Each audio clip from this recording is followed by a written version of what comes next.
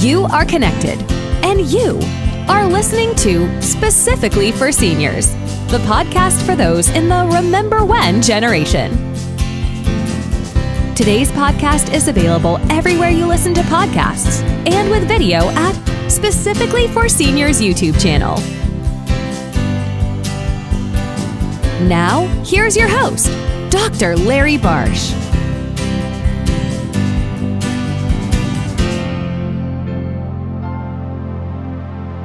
Today, on Specifically for Seniors, it's my distinct pleasure to welcome Laurence Gartel. Laurence has been called the father of digital art.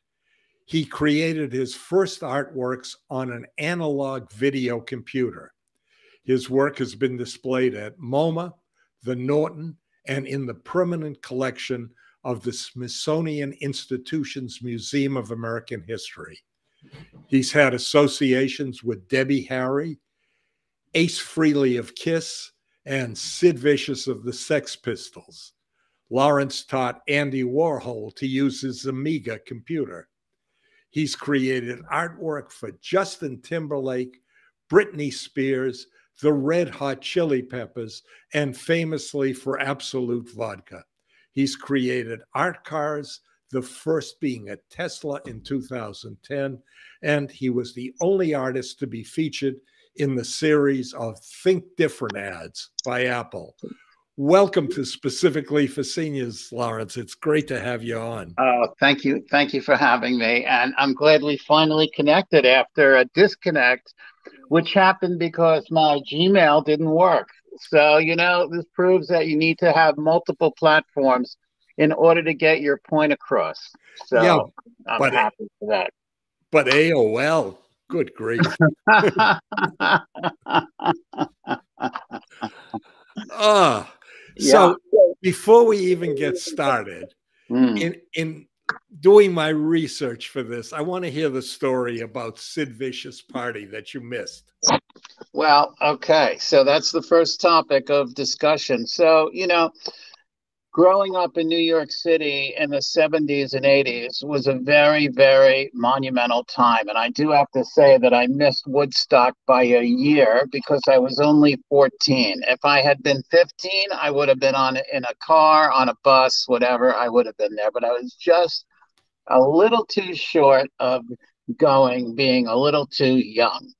And uh, so I went to the High School of Music and Art in Harlem, and music and art was always a synergy and always a connect. So, uh, in saying that, we used to go to Max's Kansas City, CBGB's, Studio 54, uh, the Red Parrot, uh, the Tunnel. I could name tons of places that were incredible places to go in New York at that time. And this is when the birth of punk rock came in.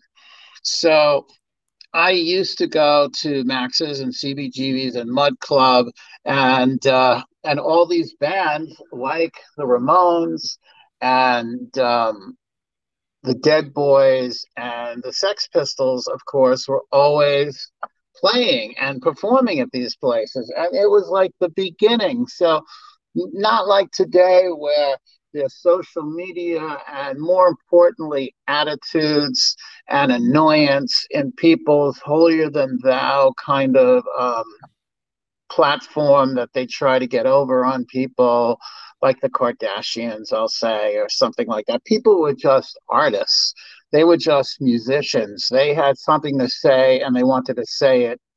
And the people came to see them.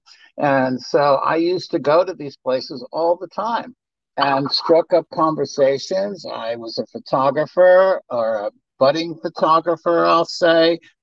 And um, I used to get friendly and I used to talk to all these people. And uh, Stiv Bators, actually, the Dead Boys, invited me over to the Chelsea Hotel to do a photo shoot with him. And, uh, that was quite interesting. And so I spoke to Sid one night, and Sid said to me, Listen, um, you know, let's do a photo shoot back at at the Chelsea. And I said, absolutely, because I had been there already before. So it's familiar. And, um, but being the kid that I was, I got up late and I said, "Oh my God, it's late. I got. I better call the hotel and you know tell Sid I'm going to be late." I was always late back then in those days, and there's a message to that, by the way, as well. so I called the hotel and nobody had a phone in their room. You had to go through the front desk. So I called the front desk and it sounded like a London gentleman. And I said, Can you please uh, tell Sid that I'm going to be late? And he said to me, point blank, Don't bother coming. He just slashed Nancy to death. and that was in room 100. And 35 years later, I actually threw a party in the basement of the Chelsea Hotel to honor the fact that I didn't make it to Sid's room. And so that's kind of an interesting thing, an interesting place to start. Why? Because the moral of the story was never be on time because look what happened to those poor people in 9-11 that said oh my god i got to get to work what about the guy that slept late and said you know oh i'm gonna like go in later on you know if he had been on time he would have been most likely involved in that horror story and that tragedy so there's something to say about not showing up so like not showing up at the right time. I could have been stabbed. I could have been dead. I could have been killed. And so uh, I always take it as a good omen. The same thing like uh, the Big Bopper, right? And uh, and Dion has like you know like remorse of never getting on that plane, and all his friends did, and they all were killed. So he didn't show up. He didn't go, and he survived because of it. So there's there's an interesting story with being late. So that, that was a great way to get people to know you a little better too. Uh, back to business for a sec. Yeah. What is what's an analog video computer?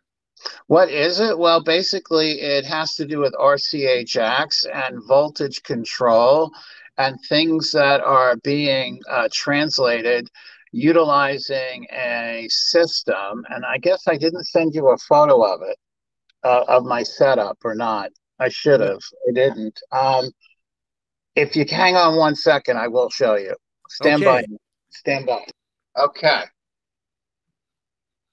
So you've reached me in Atlanta today. I'm in my hotel room. I'm here for the toy fair. And uh, because I created the number one selling toy in the world called Shashibo. And that's another story. But let me just go to my book, which is called Warhol versus Gartel Hip Hop. It's a 300 page book uh, produced by the Lucca Museum in Italy. And in here is a picture of my analog computer system. Ah, nice, compact, pocketable. Yeah. Correct.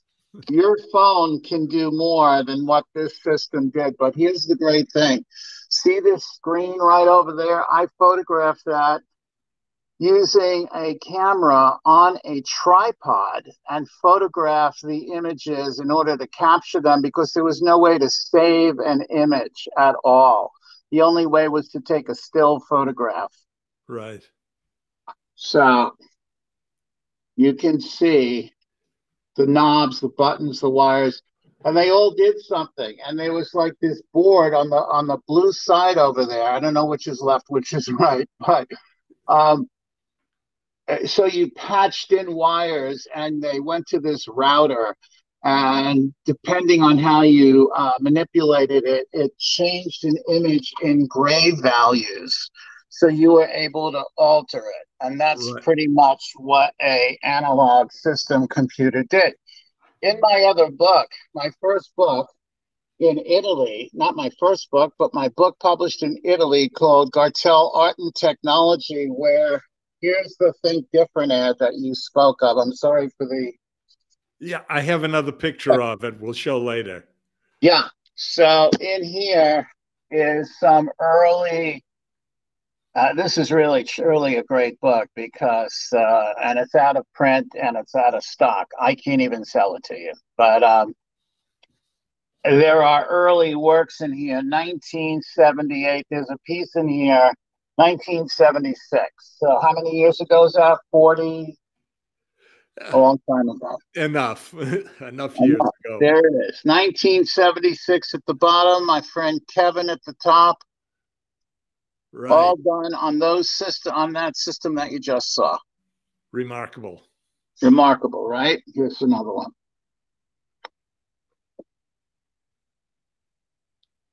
So those were in the early days. And like, you know, the, the story is so big. I'm actually trying to make an encyclopedia out of my my work, and it's going to be 500 pages, three volumes, 1,500 pages. But every day I'm doing something else, and so it's hard to like work on the book. I wish I were. Well, I shouldn't say I wish because uh, be careful what you wish for.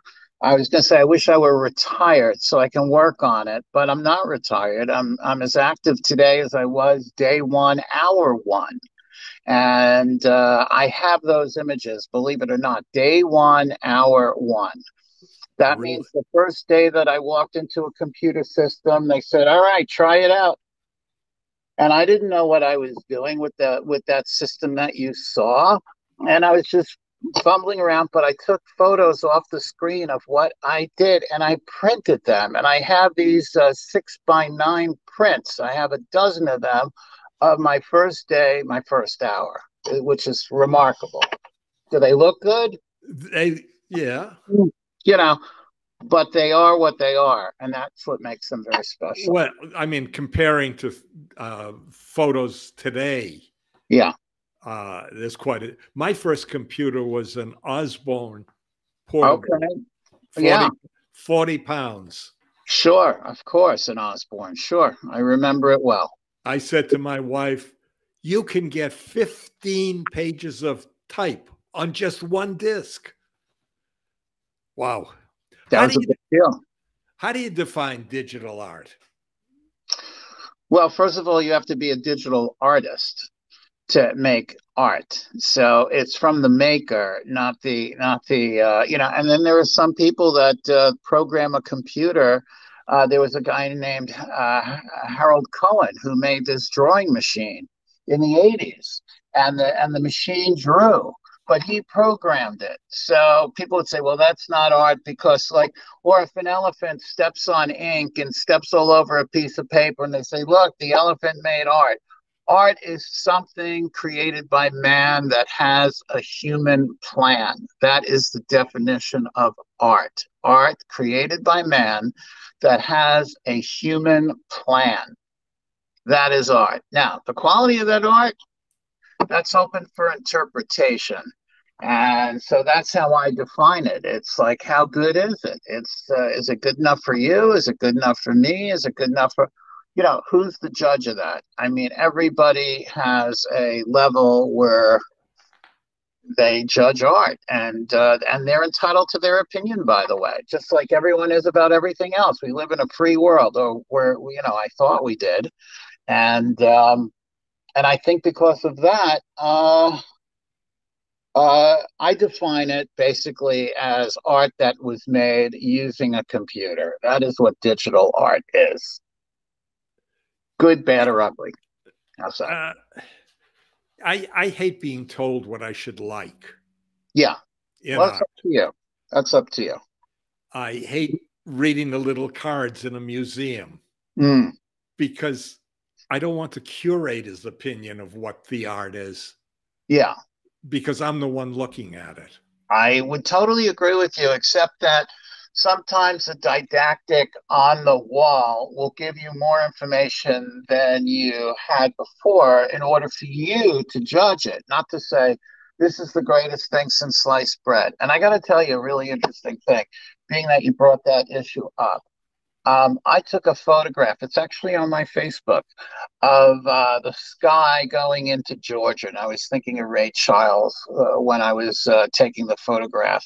And then I looked more carefully at it, and and uh, uh, the sky. And, and I have it set up so it takes a full frame on the on the uh, phone, and it's a fantastic image. It's huge, and um, I look at the sky, and it looks like a Mark Rothko painting. And I'm thinking to myself, why is Mark Rothko worth $40 million as opposed to the photograph that I just took? So that's a question that I'm going to leave somebody else to answer, not myself. Um, however, you know, um, Mark Rothko died a tragic death of committing suicide, and his paintings got darker and darker. And he was a very religious man, by the way. And so, you know, uh, it's it's uh, again, it's it's up to the viewer to put a value on what art is and the value of that art. If you think it's worth $40 million and you have it, um, be my guest. I, I, you know, I don't know if I would buy a Rothko if I had $40 million, to be honest with you. I might buy something else. One of mine? Possibly. Okay. I'll uh, talk to you after the podcast. when when did you start getting interested in art? Well, I I have formal art school training. I started at the age of nine. I went to the Pell School of Art in uh, downtown uh, 70, 73rd Street and Broadway in the old Ansonia Hotel. And um, but I've since changed my story. I now say I got interested in art in my mother's womb by drawing with my own fluid, with my unfinished finger, as to what I was doing. And I think I was always an artist. I was born an artist. Interesting. You you started a new form of art. Yeah. When you went to a museum, to show yeah. your work. Was it accepted? Absolutely, positively, 100% not. And and because people didn't know what it was, and nobody wants to bet on something that is new and unique. And I was once interviewed by, uh, I believe his name was Sokoloff of the uh, NYU Grey Gallery, and this is because in 19 i forgot what year it was uh, 88 i think um, he said well digital art has no value and it really has no future. And that was when i was commissioned to do the cover of forbes. It was the first digital art forbes ever used. Now when you think about it because of the printing industry absolutely everything is now digital art. And I was working with a film festival. It's called the Future Film Festival of Bologna in Italy. They commissioned me to do their announcement in 2000. It was uh, the second cover or second image that they asked me to do.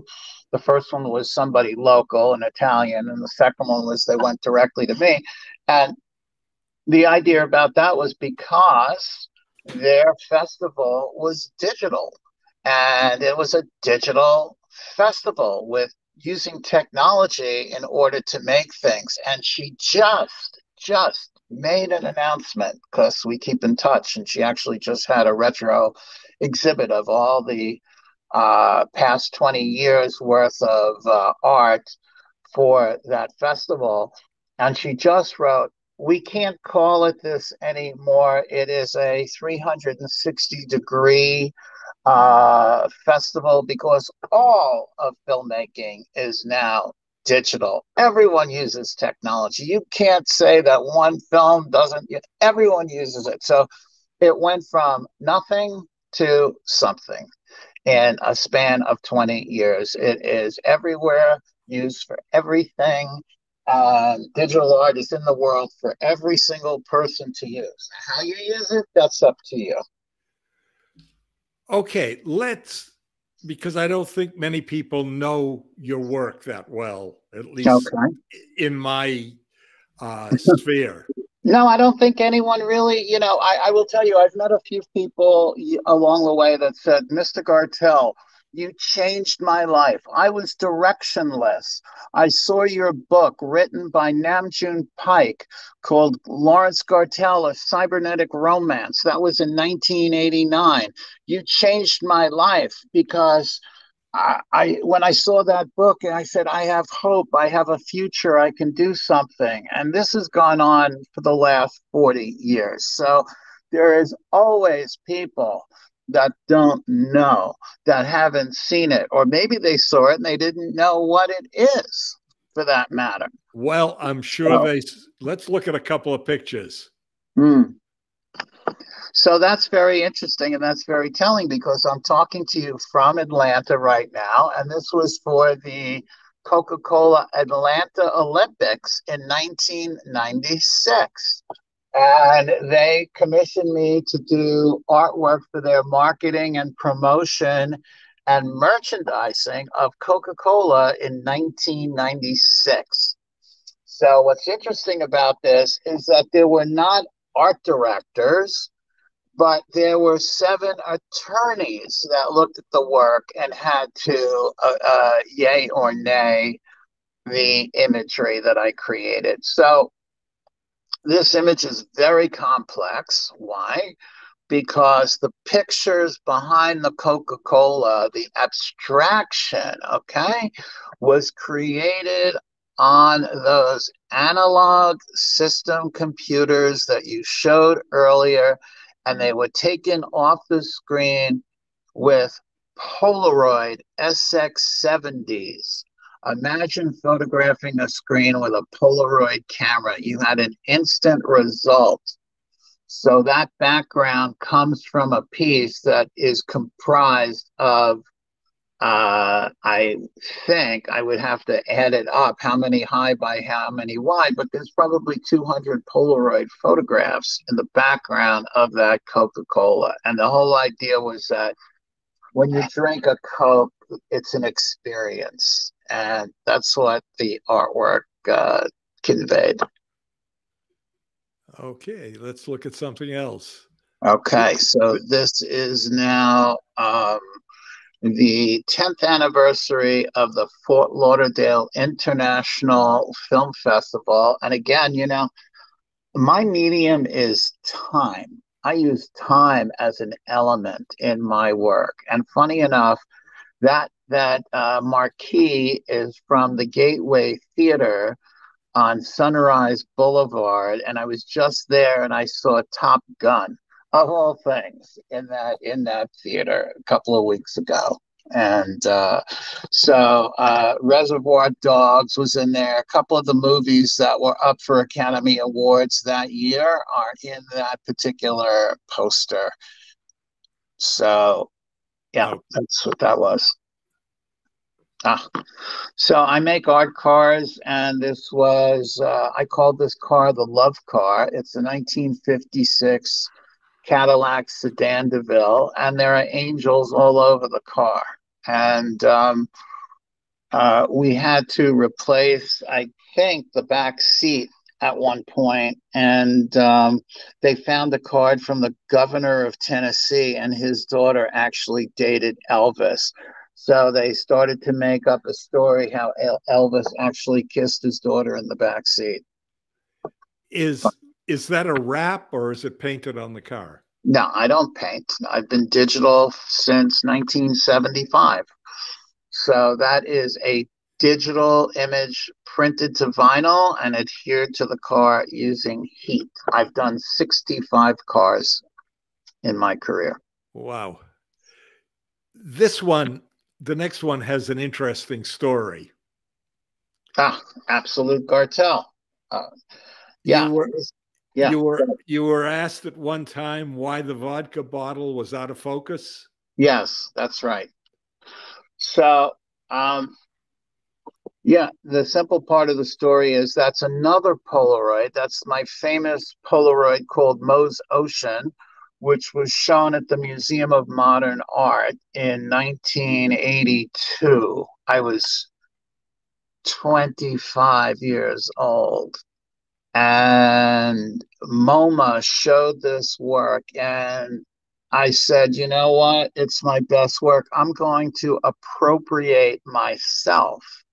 And I took that image and I twirled it around and so on. And so the bottle's out of focus and and people would say to me like did you show this to Absolut i said well i had to have in order to get approval you know and the reason why it's on the back of 300 million magazines from 1991 to 2001 art in america Artforum sotheby's wired new york magazine uh, the list goes on. And they said, yeah, but it's out of focus. I said, well, if you drink enough vodka, yes, the bottle will go out of focus and the wobbliness of the background is going to be how you feel. So Absolut applauded this image and said, this is like one of our greatest images ever created for the campaign.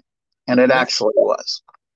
That is so interesting from uh, an artistic point of view. Uh, because many people, it's just the sharpness of the image. I see a lot of that in photography as well. Uh, if you have a photograph judged in a camera club, mm-hmm. uh, it's not sharp. This hair isn't distinct. Well, I didn't want it to be. And you get graded down. Interesting. Well, I've broken rules my entire life, Larry. Um, from the time that I ran away from summer camp swim time to go to the uh, general store in another town, and then I'd come back and I'd uh, be selling cans of uh, uh Coca Cola and uh, and uh, all sorts of um, cupcakes and so on. And I had a little black market going on, and and they never they never caught me. I, I actually paid someone off to take the rap. So, um, you know, uh, I, art is all about breaking the rules. That is exactly what art is. If you ever want to go anywhere in life, you have to break some rules. Uh, I'm not saying break laws. I just just rules. Just rules. So uh, I say that because this picture uh, evokes a lot of that. So, what's going on in this picture? It's a photograph that has been painted on. I used a, a 3D software program. I added that green hand that is somewhat uh, translucent, and it's Coney Island. And my famous picture called Coney Island Baby, which was my first image of a series, I said, "Oh, I'm gonna make a whole series of of images like this," and I couldn't make a sister image, so I made a cousin, and I have a cousin series, and this is called Clown Cousin. So this is the first image, and this is 50 by 60 inches tall. As a physical object, it's large, and um, it's a very compelling piece. A lot of people think that's Judy Garland, which it isn't, but it does look reminiscent. I've heard this like a million times, and there's little stars in her eyes instead of the, the pupil there. You can like take a, if you, you know, zoom in, you could see that in the eyes there's are stars. Here's the picture we were talking about the Think Different yeah. ad. Yes. So Steve Jobs commissioned this. I was working, you know, before Steve Jobs ever touched a computer. And so this was really rather interesting because I'm the only, like, at the time, this was in 1997, but Steve started that company in the late 70s, and I was working in the mid 70s.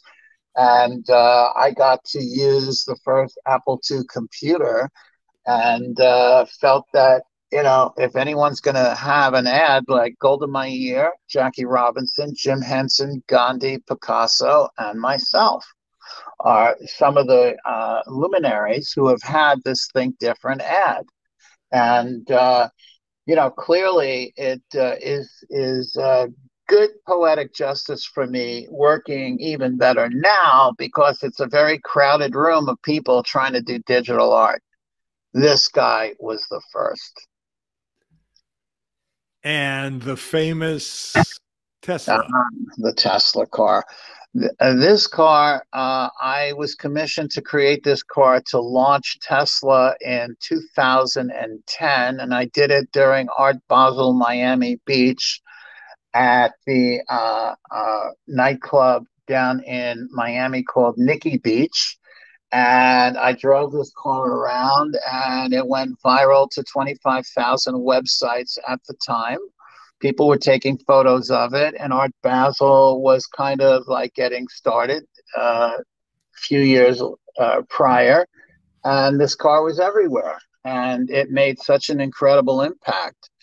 And they asked me, you know, to make an art car because they said, well, electric car, electric artist, it's the perfect combination. And I didn't know how to do it, but I figured it out. And you know, if you do the same thing over and over again, you're going to get the same result. You got to like try to do things out of the box, like the ad. You have to think different. And so this was thinking very, very different. Okay, let's see if we can get us back to full size. Yep. Good. Um, you taught Andy Warhol how to use a computer? Yeah, that was in 1985, and I had met him at Studio 54, and he said, "Listen, I've got this commission uh, to do uh, Debbie Harry's album cover, and they very much wanted uh, Commodore, that is, to uh, assist him in making it, and he should make it on a computer." And the thing about that, of course, was I was a kid. I didn't have the notoriety. I didn't have the uh, uh, the cachet and everything to be the featured artist, but I certainly could have helped him, and that's what I did. And so, because I did that, uh, he and he never touched a computer ever again. I mean, this was not his, you know, uh, bailiwick. This is not his expertise. So um, I showed him how to use deluxe paint and photon paint, and he tried to work a little bit with a mouse, whatever. And uh, there was a video camera that was um, put down of a photograph of Debbie Harry, and we played around, input it into the system, and that was that. Amazing. Amazing is right. Who who were who were your idols in the artwork? Well, you know, I have a great story. My mother always uh, took me to the Guggenheim Museum all the time, and I looked at the work of Miro and Klee and Kandinsky. And uh, my mother would go, Isn't that beautiful work? And I was like, It's all right, mom. You know, my work is better. And she would give me a whack across the face. What are you talking about? You're at the museum, uh, you know, the, the Guggenheim Museum. The greatest art is here. So, um, you know, I grew up going to to the Metropolitan Museum and seeing really wonderful works my whole life. I mean, I've been looking at art my whole life, and uh, it was inspiring. And more than that, my parents. Uh, we lived in the Bronx at the time on the Grand Concourse, and I uh, facing uh, Joyce Kilmer Park of all things, and the courthouse. And in our huge apartment with a drop down uh, living room.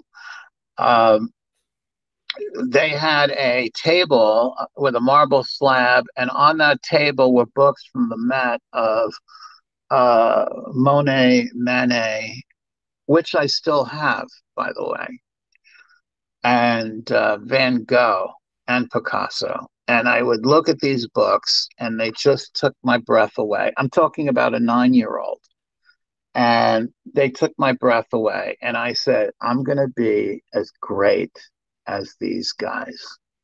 And I knew in my heart of hearts, Larry, that that was an almost an impossibility. That was the toughest, hardest, and I'm just a kid thinking this.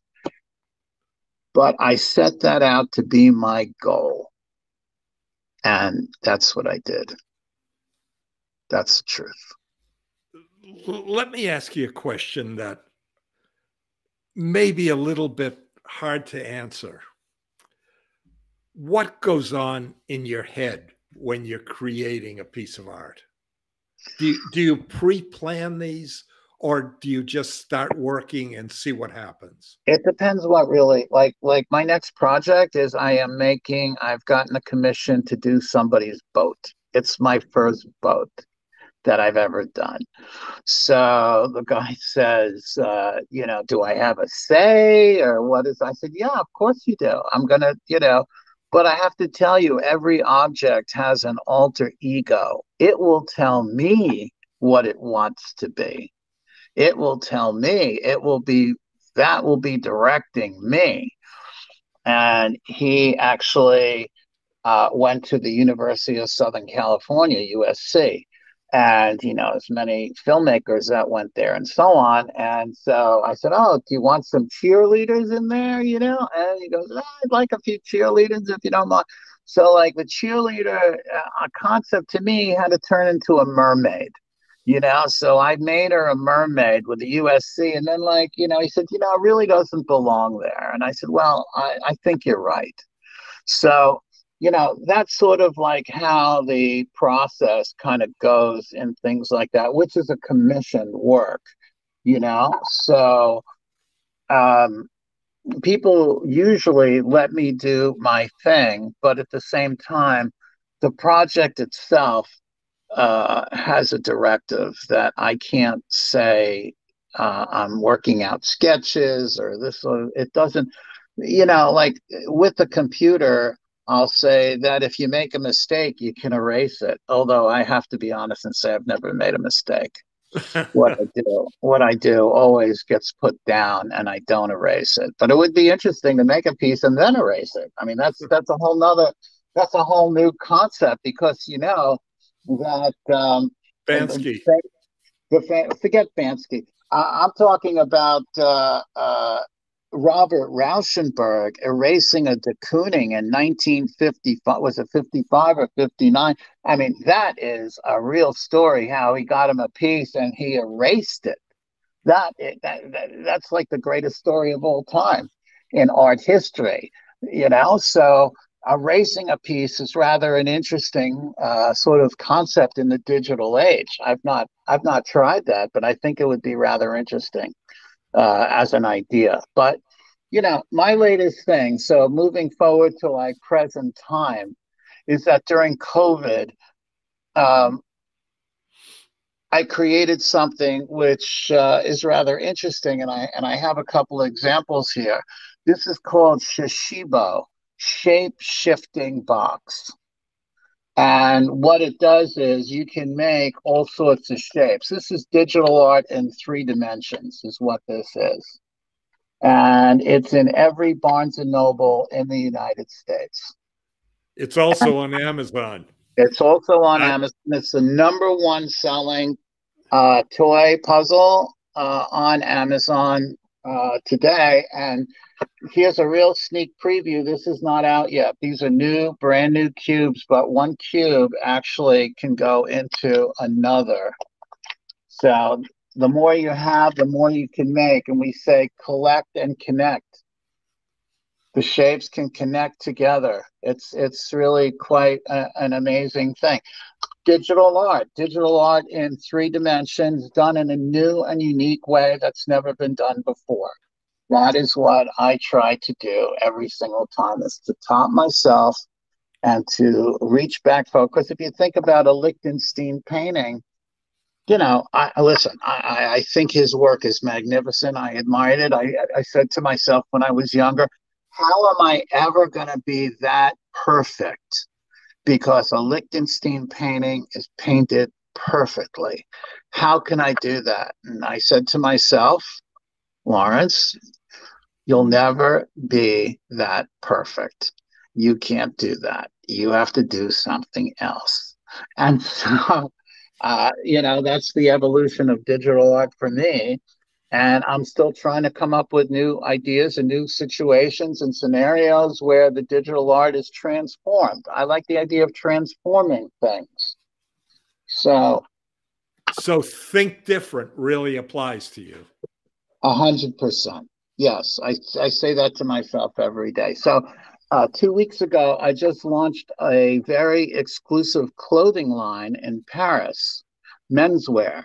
And so it got an amazing reception, and we're working on the second collection now, which will be ready. This is, of course, fashion always is like a year, 18 months out into the future.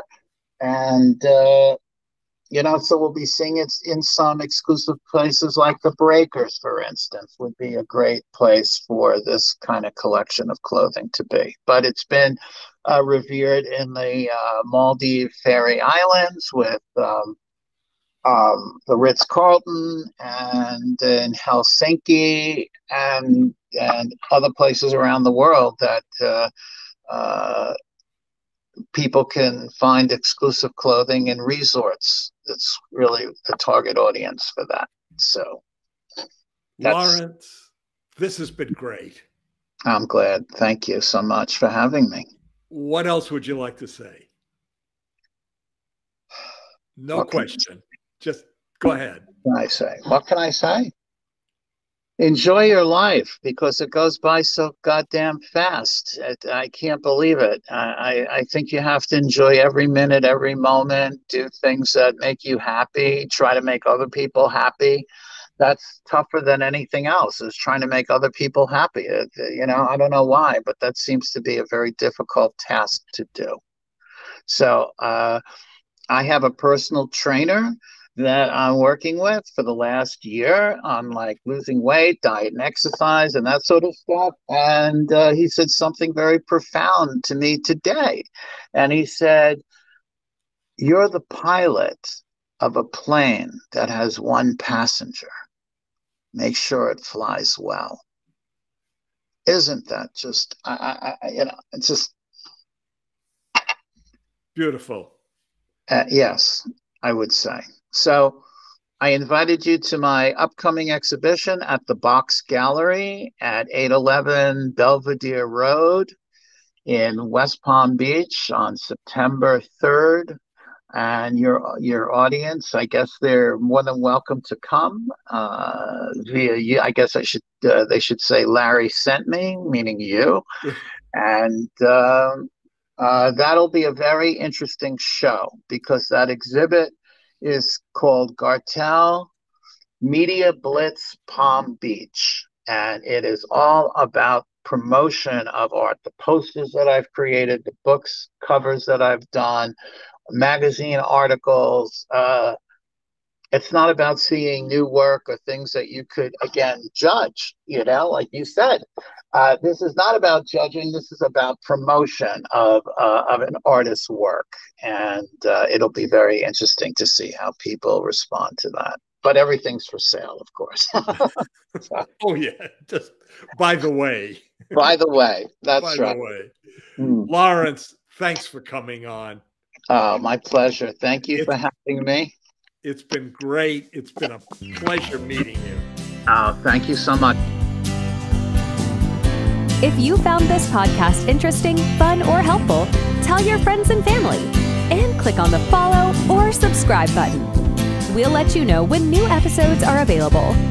You've been listening to Specifically for Seniors. We'll talk more next time. Stay connected.